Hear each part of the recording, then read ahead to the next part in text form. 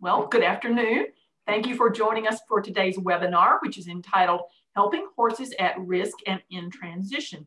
We're delighted that you were able to join us. We are recording this session, so you'll have an opportunity to play it back if you'd like to hear some of the details uh, um, later on. Um, I'm Julie Broadway, president at the American Horse Council, and I also oversee the American Horse Council Foundation. The foundation is our 501c3 nonprofit um, that was formed out of the need to encourage support for worthwhile charitable, scientific, and educational projects, such as the United Horse Coalition and the Equine Welfare Data Collective. So we're delighted to present to you this afternoon. We also would really like to say a special thank you to our sponsors, which are Pyranha and Adeptus. And with that, I'd like to introduce Ashley Harkins, our director for the United Horse Coalition. Take it away, Ashley. All right. Hey, everybody. Um, well, thanks for being here with us today to learn a little bit about uh, some of the resources and programs that are out there today to help horses at risk or in transition.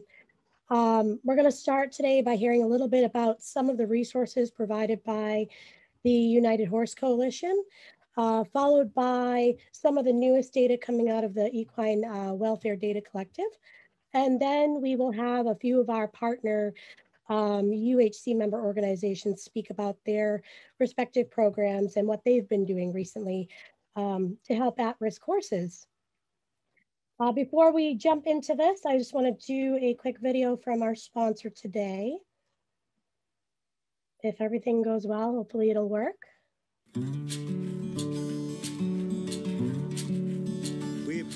Proud to announce that we are now joined the American Horse Council along with our sister company Adeptus. You know, our beliefs have always been to take care of the horse first, which aligns perfectly with the American Horse Council and that they're there every day fighting for the rights of all breeds and really all disciplines. Here at Pyranha, we you know pride ourselves in taking care of the animals uh, that we love so much, and with Pyranha, certainly we take care of those flying and biting insects that aggravate our animals. And so we're very aggressively pursuing the best formulations. The Ultimate Protection Collection, for example, our oil base, our water base, our all natural zero bite, and our aerosol. All four of these products in the Ultimate Protection Collection protects our animals, along with our Spraymaster system that is installed in many barns across the country. No matter what breed you have, Adeptus is going to take care of your horse on the inside. It's certainly going to show on the outside. So with Pyranha and Adeptus, just like the American Horse Council, we're going to continue to protect your horse and keep them healthy.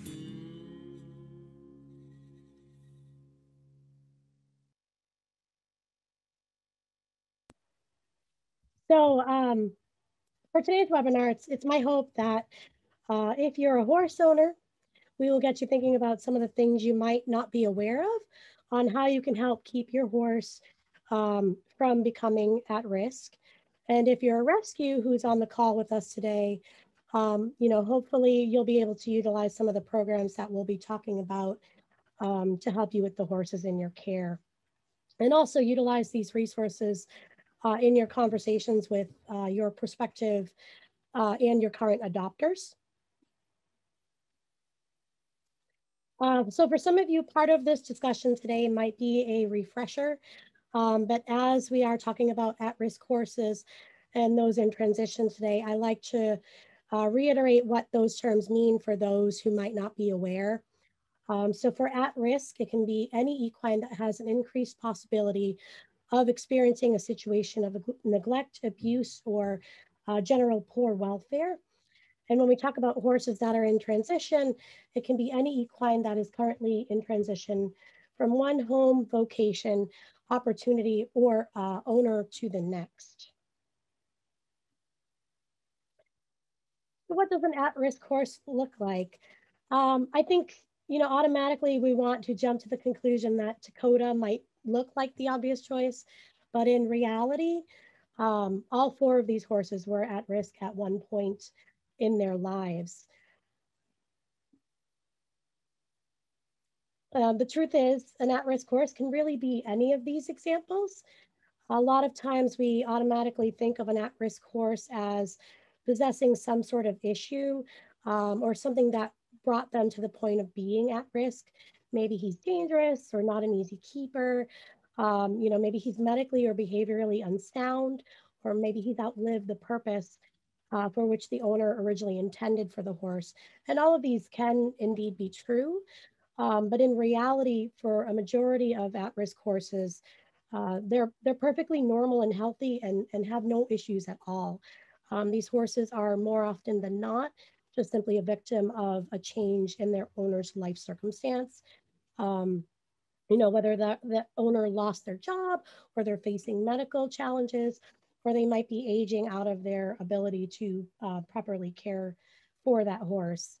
Uh, just to give you an example, this is a, a picture of my adopted horse, Sammy, uh, who was once considered at risk and part of a large scale neglect case in Massachusetts. Um, and I will say that he is the uh, best horse that I've ever had the pleasure of owning. He's now 26 and semi-retired and um, basically just teaching my girls the joys of being around horses. So without going too much into the history of UHC, I think a lot of you that are with us on the call today are familiar with, um, you know, our history and how we how we came about. Um, but the mission of UHC was and continues to be to promote education and options for at-risk and transitioning equines uh, throughout the industry. And we do this by educating current and future horse owners on responsible ownership, proper care and breeding, um, and responsible options that are available to owners should they no longer be able to care for um, you know, the horse in their care or if they need to rehome their horse. We're raising awareness about the issues that are surrounding horses at risk and also the impact that it has um, on the horse industry itself. And hopefully by doing this, um, we can reduce the number of horses that are at risk uh, so that eventually in a, in a perfect world, we can eliminate the issues that surround them altogether. By far, however, um, I like to, to pull this slide up. Um, our biggest impact in creating change for at-risk horses is by starting at the source. And that's through teaching horse owners how to be responsible for the horses that are in their care. Um, we do this by educating owners about not only responsible uh, care and breeding responsibly, but through providing resources and options to uh, help keep their horse in their home. Or if they can't keep their horse, providing responsible options and alternatives um, for the next chapter of their horse's life. We also want to make sure that owners are thinking about what happens to their horse um, should something happen to them as an owner. So to that end, we provide information regarding uh, estate planning, having an exit strategy for your, your horse, um, and safety net program in place, um, you know, to keep your horse safe. And then of course, helping owners um, understand what's involved in end of life decisions, including uh, euthanasia and disposal. And we feel that this important, um, this, this topic is important to be discussed openly because it's something that is going to happen to every person that's involved with horses at some point in their lifetime. Um, and if we can prepare people, it makes the topic a little less scary and a bit easier to understand what's involved in the process, uh, both when it comes to the euthanasia itself as well as the disposal. Um, you know, we hope by making the, the subject a little less taboo um, and helping owners become comfortable talking to their veterinarian about making that decision for their horse when and if it's necessary. Uh, from a UH stand, uh, UHC standpoint, prevention and being a responsible owner is key in helping to uh, keep most horses from reaching an at-risk state and uh, thereby you know keeping them not only out of the system but also safe in their in their home So when we talk about our resources uh, for the context of UHC, um, a resource is anything that we can identify that can assist in helping uh, uh, horses that are at risk or preventing them from becoming at risk. There's currently three categories that these resources fall under on our website, resources for current owners, resources for prospective owners, and resources for rescues and sanctuaries. Um, each of these subcategories has its own page on our website dedicated to resources and programs uh, specifically to help them in addition to what we have listed in the equine resource database. Uh, sometimes, as is the case of resources for rescues and sanctuaries, um, we actually direct users and visitors uh, via external links to uh, resources and programs that are provided by some of our member uh, organizations and partners. Which brings me to our bread and butter, um, which is the United Horse Coalition's Equine Resource Database. Um, its impact is huge for its potential to help um, owners of at-risk horses. Um, individuals in need of assistance can come to our site and utilize this basically this type of search engine to find various uh, safety net programs or assistance programs that are listed by uh, that uh, state that we have identified nationwide. Um, this database also includes an audited list of over 1,200 rescues and sanctuaries for owners to reach out to in their search of responsible options um, should they need to rehome their horse. We add and remove resources from this data, database pretty much on a, on a weekly basis um, as they're identified or they're brought to our attention. Um, as a side note, one of the action items for UHC this year is to identify some guidelines to help owners uh, navigate searching for a, reputable uh, rescuer or surrender to adopt from. But to give you an example, um, say an owner is in need of feed or hay assistance, or maybe it's euthanasia assistance. Um, what they would do is select that option from the drop-down box that you saw on the first page, um, put in their state, and we will populate the results. These are the results here um, with any organizations that we have identified that offer um, that type of assistance program. You can also search by um, breed specific programs or affiliations like GFAS, TAA, STA, and so on. Um, if you're an organization that would like to be added to this database, you're welcome to fill out the database questionnaire on our website uh, and we'll get you added in. I should also mention that if you are on our website, um, if you're an owner and you're on our website and you're unable to find the assistance that you're in need of through the database, um, you can always just contact us directly and we'll network with our member organizations to get you the help that you're in need of. Next is our COVID resources. Um, I'm going to mention the COVID resource site briefly, if only to say that it might be retired soon, which, which is a good thing. Um, and anything that continues to be helpful or that is worth transferring over to our site, um, we'll be adding to the database and resource pages before we take it down. Um, so when you go to the landing page for COVID, there's sections set up by sector. So one for horse owners, one for nonprofits, uh, equine businesses, and one for industry employees. Um, the sections that, that are on the site include links to articles, websites, information, um, webinars, and, and anything really that we found that would be beneficial to help um, aid individuals during the pandemic. So we'll slowly be phasing out of that. Um, I'd like to talk a little bit about our educational materials. Uh, we have a vast array of educational materials on our website. And these are for not only our members to utilize, um, but the general public as well. They're, they're there for everyone to use at will. Um, we have an Owning Responsibly booklet, which contains all the materials and topics on responsible ownership of everything you want to know about being a responsible owner. It's available in PDF form. Um, and it's, it's really, it can be a great tool for not only owners, but um, if you're a rescue for your potential adopters, and new horse owners, uh, even current ones, as there's information in there. You know, I'm, I'm fairly certain a lot of owners haven't really thought about. Uh, we have a brochure on neglect on the neglected horse, rehabilitating the neglected horse. Uh, information on is horse ownership right for me. So should I be taking lessons? Should I try leasing first? Or am I really ready to dive on in and become a horse owner?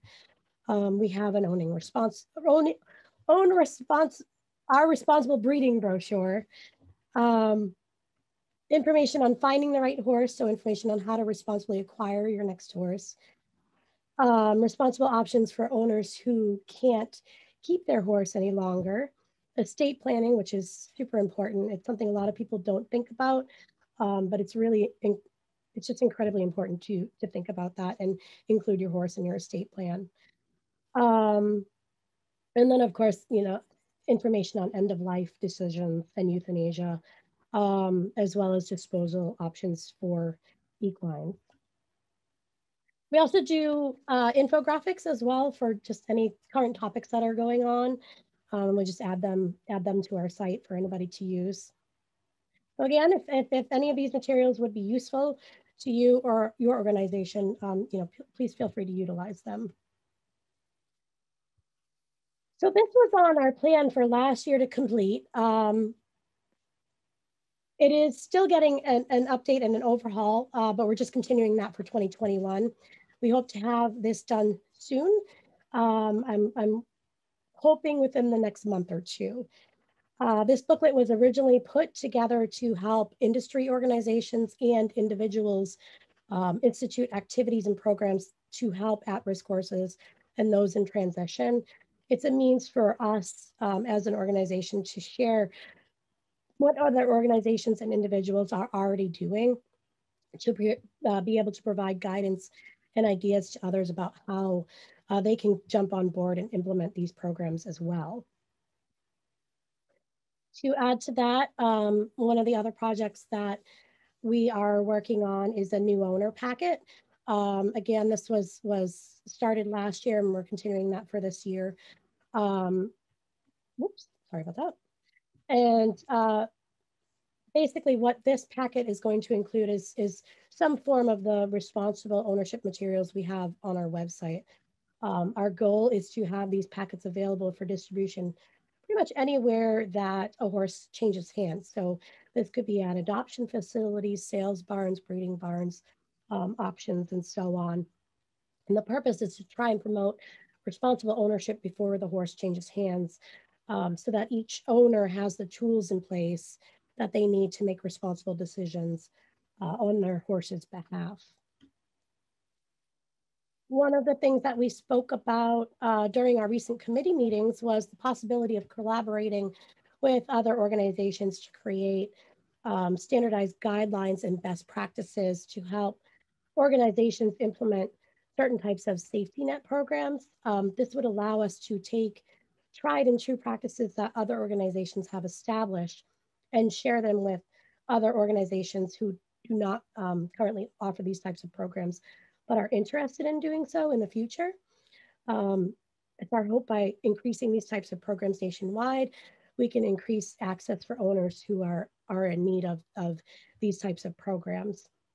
A few of the guidelines and best practices um, to standardize that we had in mind are um, gelding clinics and castration clinics, euthanasia and disposal clinics, hay and feed assistance programs, um, and training and behavioral assistance programs. Um, you know, so be on the lookout for uh, developments coming out of this.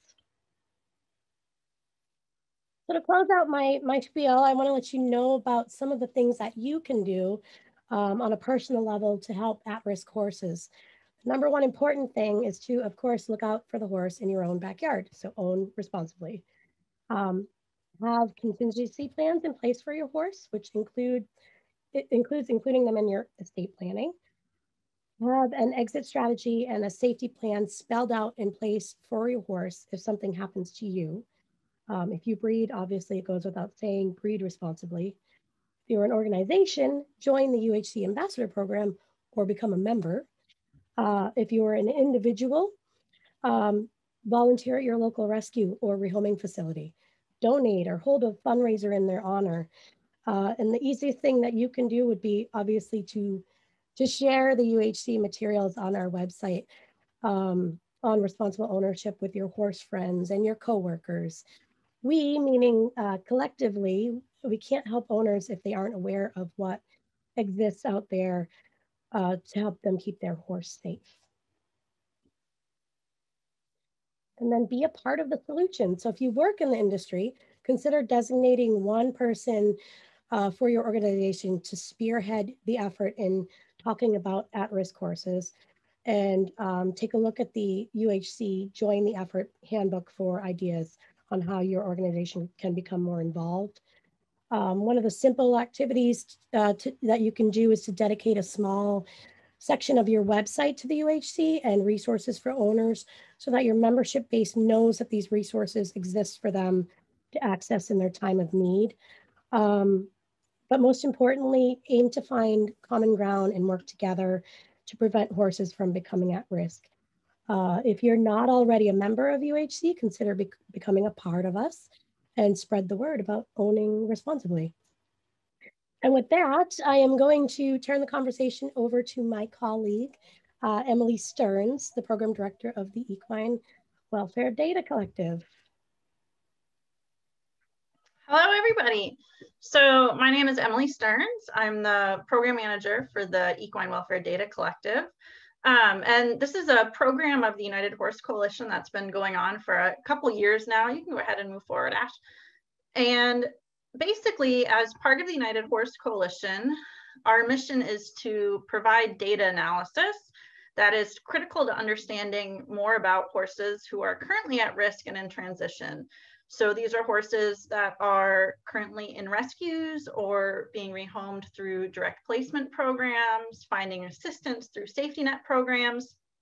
And this data that's critical is then used to kind of help the industry and the equine welfare community at large identify ways to kind of create and grow programming, um, direct funding and support, and kind of in general help drive positive change as we all work towards supporting at-risk courses and those in transition. Next slide, Ash. So we've accomplished several things and the Equine Welfare Data Collective, our main goal is to collect this data um, and then publish the information to the public free of charge so everybody can kind of look at the data analysis and the reports and help identify how best they can help their own community and support their own community. So what we've done over the past couple years is we've helped to build this database of over 1,000 equine welfare organizations in the country. And, and this in part is um, what we use to help kind of understand that there even was a need for the equine resource database within the UHC because there was no master list of all the great organizations that were helping people across the country. So we worked with Ashley to help build this list and the data that we're reporting right now, we have data from about 30% of the equine welfare population. So over 300 organizations have submitted data to us so far, and, and that list is continuing to grow. We currently have two published reports on the UHC website right now. And our third report is coming very soon. It's, it's going to our reviewer this week. Um, so our third report will be published very soon. And you can read those reports free on the UHC website. We also have an ambassador program to help orgs who do not kind of operate normally within the welfare community at large or orgs that don't take custody of horses but that do kind of good works within the welfare community one of them is the global federation of animal sanctuaries that works to certify and set standards for animal sanctuaries but this ambassador program helps to kind of spread the good word of data and share our reports among their affiliates. And, and we're kind of always growing that ambassador program. We also have an intern program. If you know any studious high schoolers or college students who want to be more involved in equine welfare, we have a remote internship program. And through our data and analysis and reporting, we've identified um, a critical need among equine welfare organizations to be supported in not only their data reporting, but their record keeping needs. So we've started kind of identifying ways. Um, one of them was through educational webinars to help support equine welfare organizations um, with animal shelter software learning and better record keeping needs. Next slide, Ash. So before we talk about the data a little bit, I always like to kind of tell people how it works and it, it is very straightforward. So what we do is, that's a picture of me myself, um, and our interns, we get on the phone, we call equine welfare organizations, we email equine welfare organizations, and we encourage them to submit data to us through a survey software um, system. And then we analyze that data and we report it through our reports. The data stays private, so we don't publish any raw data. We only publish aggregated analysis. Um, and we feel that's a very important aspect of data collection and, and kind of getting this understanding of equine welfare out into the world because organizations have a right to keep their data private. So we want to make sure that any reporting and analysis we do helps to protect the identity of any orgs submitting data. We don't want their information out there unless they feel like sharing it. Next slide, Ash. So some of the data that we've been, thank you, Daryl.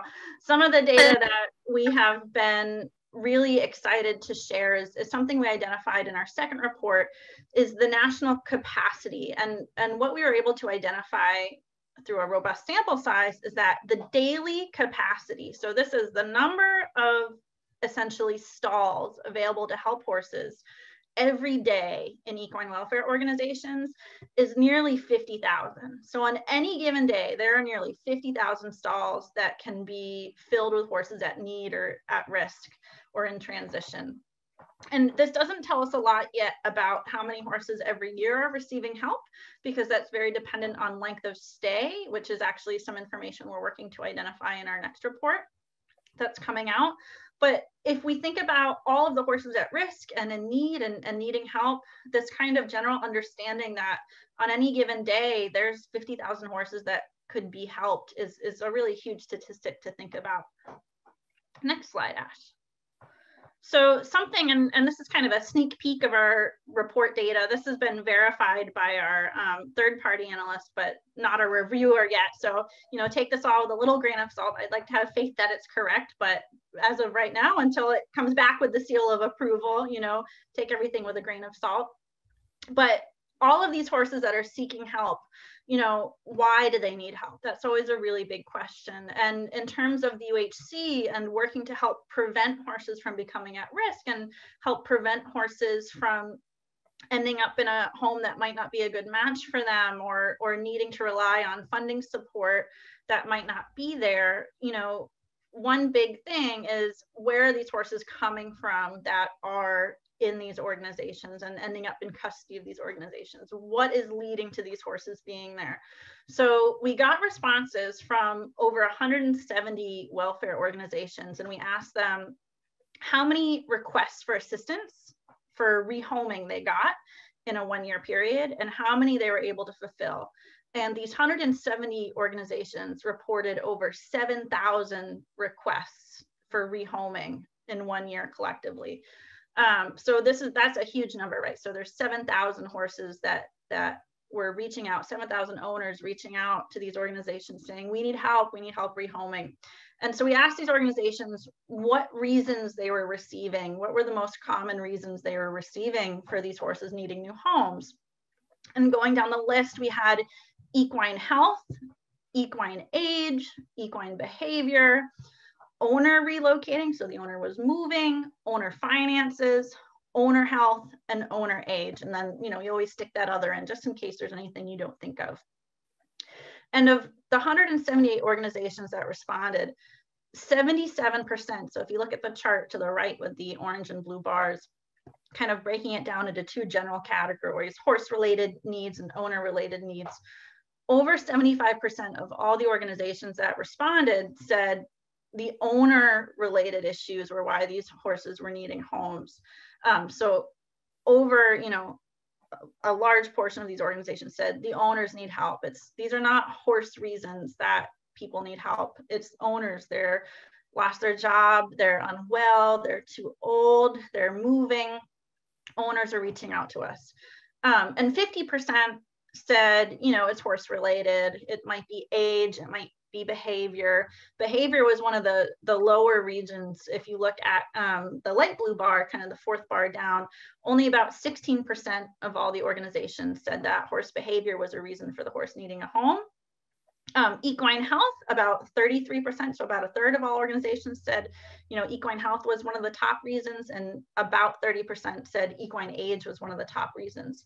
But kind of, you know, it's one of those things if you've worked in rescue and, and Ashley and I have both had, you know, hands-on work working in equine rescues, owner finances seems always kind of like one of those duh moments. Yeah, obviously the horses need help because the owners need help. You know, they've lost their jobs, they've lost their whatever.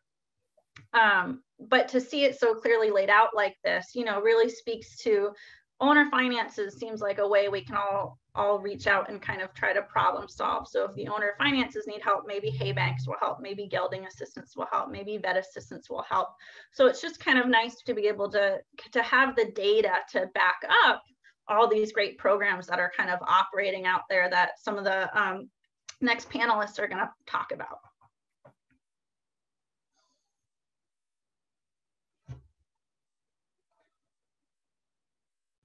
I have to unmute myself.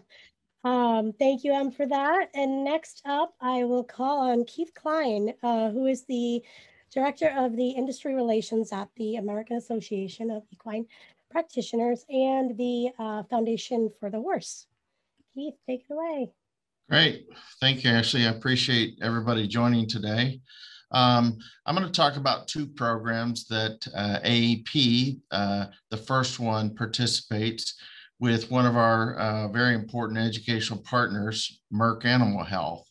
And then the second program is managed through the Foundation for the Horse, uh, which is the charitable arm of the AAEP. Um, about the Unwanted Horse Veterinary Relief Campaign, uh, this program, you can go ahead and switch to the next one, Ashley. Um, this program has been around since 2008. And again, as it mentions here, is a joint partnership with Merck. And we provide vaccines uh, to qualified equine rescue and retirement facilities. So we celebrated uh, 10 years for this program and uh, continue to work with them on this. Um, next slide, please. Um, each facility, uh, as you can see here, some history on it, since 2009, we've uh, distributed more than 42,000 doses uh, to the uh, facilities.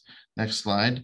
Uh, each of the equine uh, facilities that apply, they must be 501c3s.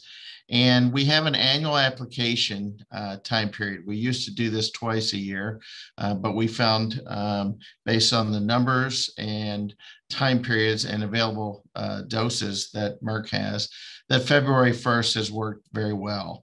Um, and upon approval, we then work with Merck and their uh, team uh, for distribution.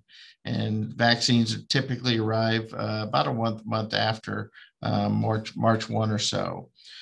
So it's pretty turnkey. Um, the facilities don't have to provide tons of data. Um, next slide, please. We do have them work with um, their veterinarian and there is an application. And so any support information um, that they can provide, it, it allows us uh, to know more and provide data um, to help improve what's happening for some of these uh, unwanted at-risk horses in transition. So here's a web link uh, for those of you that are unaware of the program. I think most facilities are, but if you're not, feel free to access this web link and you can learn more about the program. Next slide, Ashley. So moving on to another program that's managed uh, through the foundation. Um, this is called Vet Direct Safety Net. And it's designed to give a little bit of help to horse owners that need some veterinary care for their animals. Next slide, please. What this program does, thanks to a partnership and generous gift that we received from our friends over at ASPCA, it allows uh, veterinarians to work with horse owners to assist them, if needed, with euthanasia and disposal. But hopefully, most times it's for emergency stabilization procedures. And there may be uh, an owner that needs a little bit of help. So the ultimate goal of this program is we want owners to keep their animals, to keep them health, healthy and safe.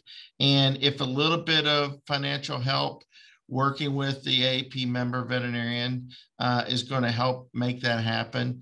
That is the ultimate goal of this program.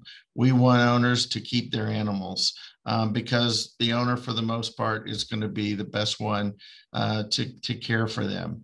So there may be times, you know, during COVID when somebody lost uh, lost their job and need a little bit of help. Um, the veterinarians will work with them, and uh, each each veterinarian uh, has access to a certain amount of dollars, and each horse um, has access to up to about $600. But again, the veterinarian will work with the owner based on that need and that owner and that animal. Next slide, please.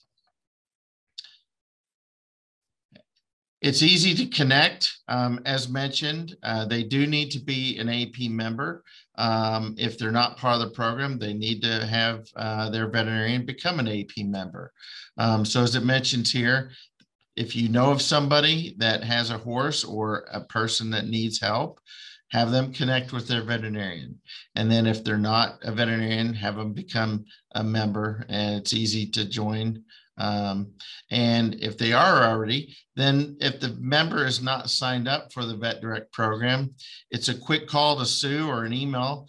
She'll tell them the, the information. There's an onboarding process that takes very little time, a few forms, and then they're golden. They're signed up for the program. And then as they learn of horses or owners in need, then they're able to participate in the program. So it's pretty simple, and we, you know, would love more veterinarians to participate. So thanks again to our friends at ASPCA and AP uh, for their assistance and partnership with the foundation for this program. I think that may be our final slide there. So quick and dirty, it's, these are both great programs and happy to answer any questions in the Q&A or later on. Thanks, Keith, for coming on.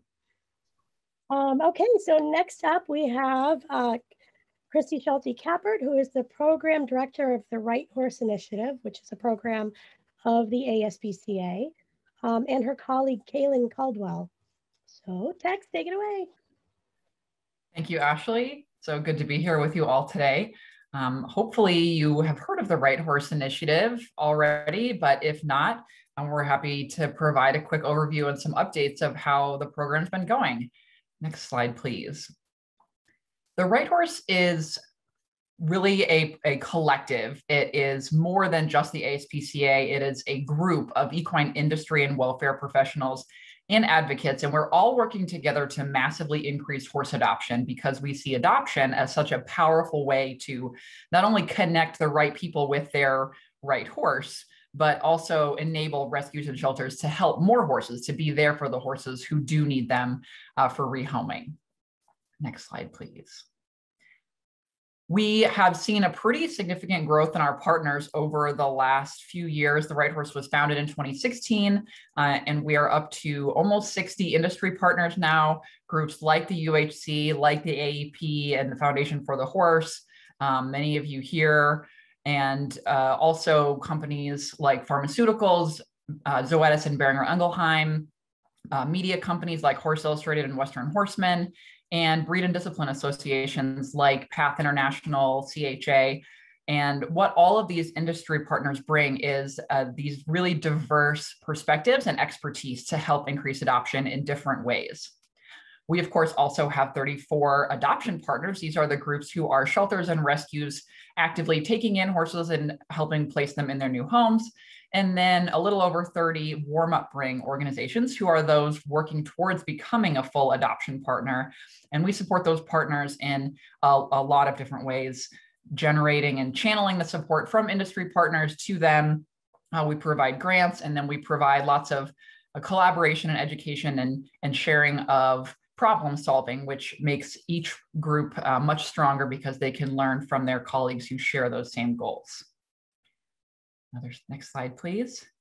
Something to put on your radar for this year, uh, we are convening all of the Right Horse partners and we'll have an opportunity for those interested in becoming partners to come to the Right Horse Summit.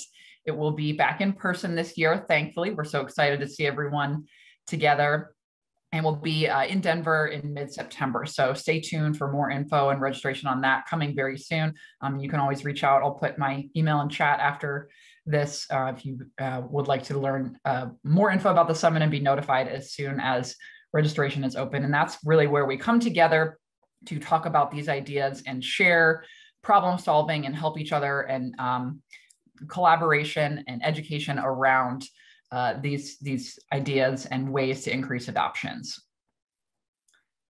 So uh, uh, next slide, please. Thank you. Um, our partners had a banner year in 2020. I know everyone was a little worried about what, what the year would bring, and they actually adopted out over 3,600 horses, which is a pretty incredible number of horses who found their right home. Next slide, please. And that's actually a 21% increase over the prior year. So what we're seeing is these groups really leaning in, focusing on their adoptions, getting really smart and really effective at matching the right horse with the right person.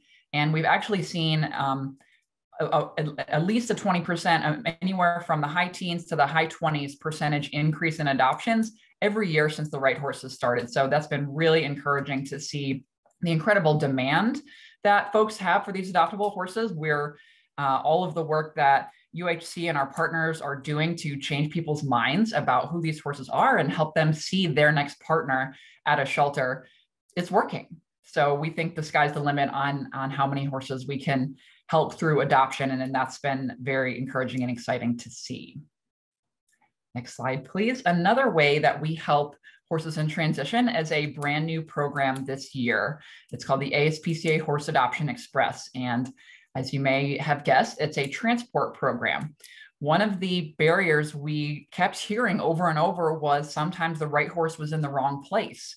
And so if their adopter or potential adopter was out of state, that could be the one thing that would make the adopter say, dang, I'm just not sure how I can make this work. And so the Horse Adoption Express transports horses between our adoption partners to areas of higher demand where that horse might be more able to find his home more quickly, or to a place where that horse can get training that he needs to become adopted, or uh, for any other reason that might make him more able to find his right person at a different shelter. And so this is something that you know, uh, you may have heard has been done for many years in um, the small animal world and has been incredibly successful at saving lives. And so by removing this barrier, we're, uh, we're already seeing the impact and able to help lots and lots of horses find their, their right people.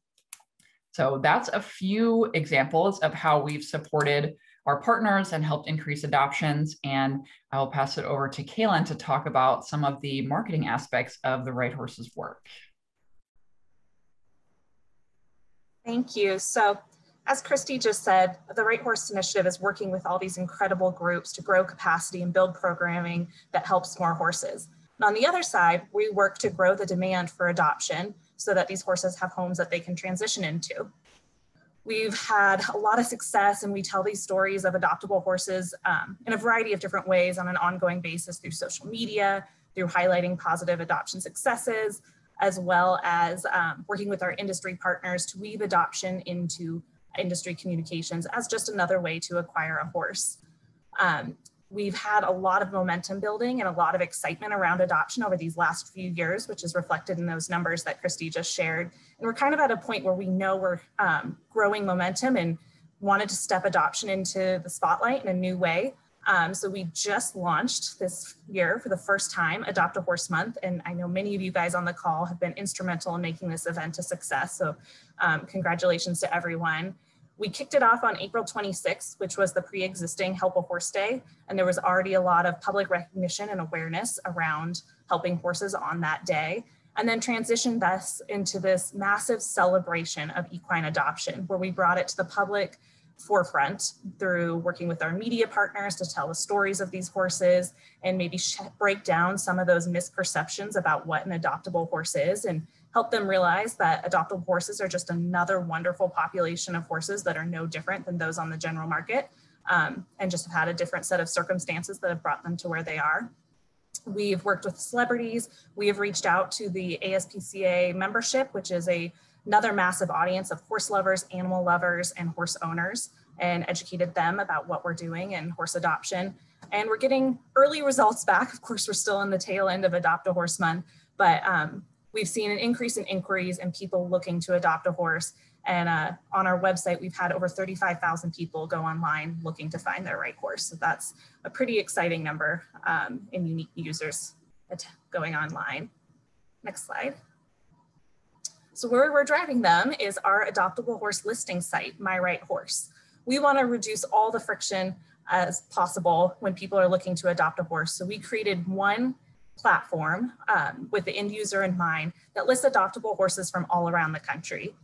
Individuals looking to adopt or explore adoption can search by age, they can search by breed, location, discipline, suitability, um, and it was created with the goal of representing these horses in a very professional and positive way and making this process really enjoyable. The horses listed on My Right Horse come from our partner and warm up ring organizations. And then during campaigns like Adopt a Horse Month, we occasionally have additional groups listing their horses.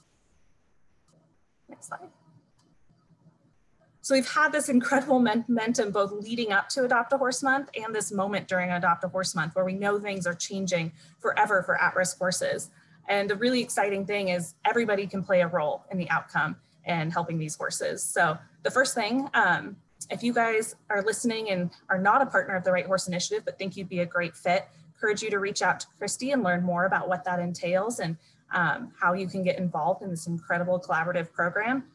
And also think about the organizations that you touch. Um, if there's an equine organization or breed organization, um, a business, encourage them to reach out and learn more. It's hard to overstate the value of what word of mouth does for adoptable horses because for the right horse to find the right person, that person first has to be aware that that horse exists. So we always encourage people to visit My Right Horse, share horses with their local communities online, talk to your farrier, talk to your vet, talk to your trainer, and make them aware about equine adoption and the Right Horse Initiative. And then we'd always love for you to follow us on the Right Horse as platforms on Instagram and Facebook. That's where we have programmatic updates, um, updates about available horses, what our incredible partners are doing. Um, so please give us a follow if you haven't. And then lastly, we'll just plug Summit again. Stay in touch, keep talking to us, and we hope you'll get involved in the Right Horse Initiative and massively increasing horse adoption.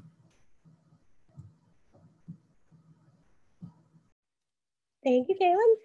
All right, so our final speaker of the day, um, I'd like to present Carly Barrick, who is the new program manager for um, our partner organization, A Home for Every Horse.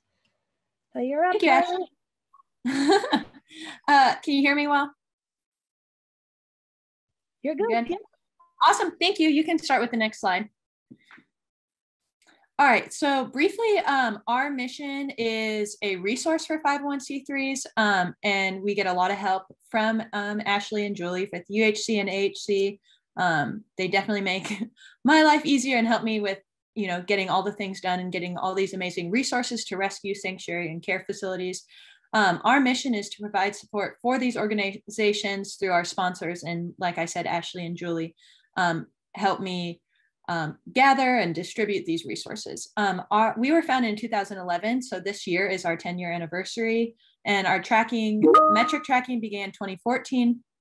So this just shows like a little bit of our growth from 2014 to 2020 um, in our website traffic and our social media following, just as a, a starter. Next slide, Ash. Thank you.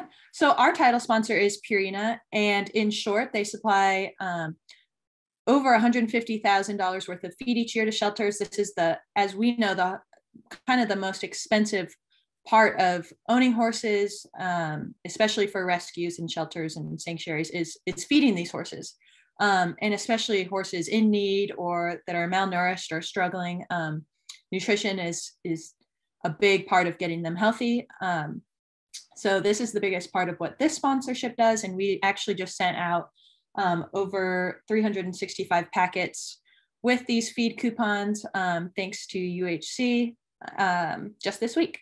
Next slide, Ash. And these are our other sponsors. Um, WeatherBeeta, in short, provides blankets for new uh, horse owners. So every horse adopted through a Home for Every Horse rescues um, gets a new blanket. Um, which is a little bit of how they help um, new owners get started. Uh, and then Absorbine um, supplies um, coupons for their products. And this year, mainly is their focus on the silver honey wound care for rescue horses um, purchased.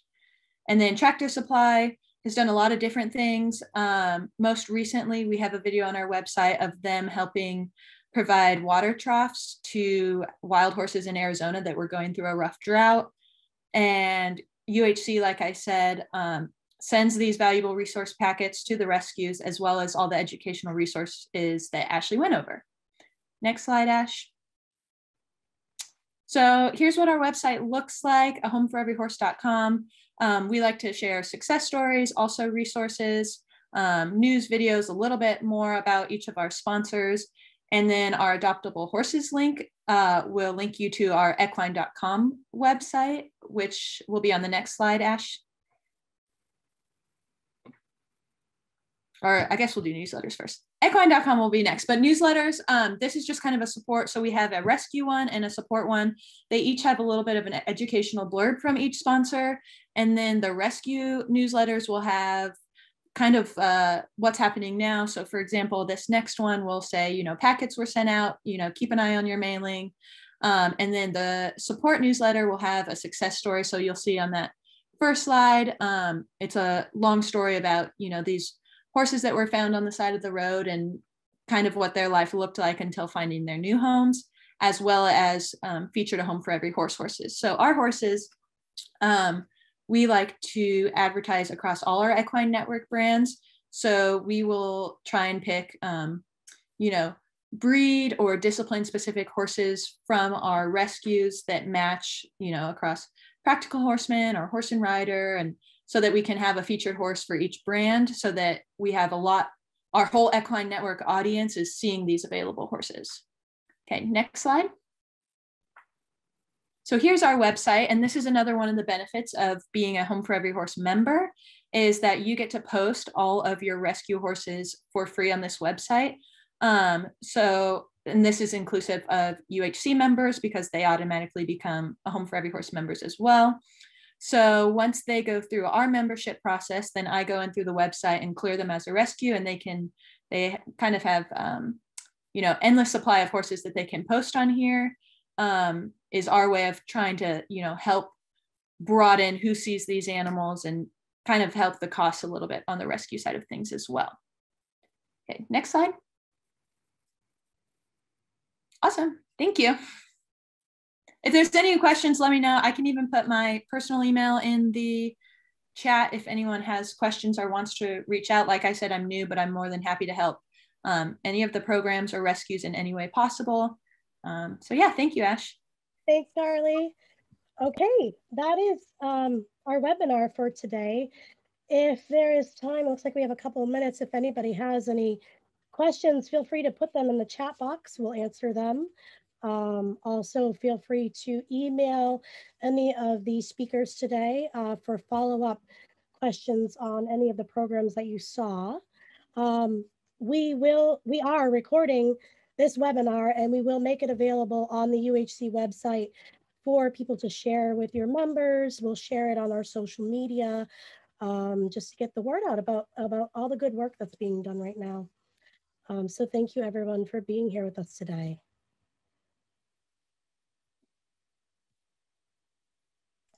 I'm just answering a question in um, the Q&A, Ash, so just keep the link open for a couple minutes. Oh, sure, yep. Oh, I don't have the Q&A pulled up. That's why I can't see it. Oops. So Ashley, while we're waiting, I want to take the opportunity to let the audience know that we are um, having our annual conference virtually this year, June the 14th through the 18th. Thursday, the 17th is our Equine Welfare Day. Um, and so if there's an opportunity to hear more from UHC, and she's got some great speakers lined up for that uh, presentation too.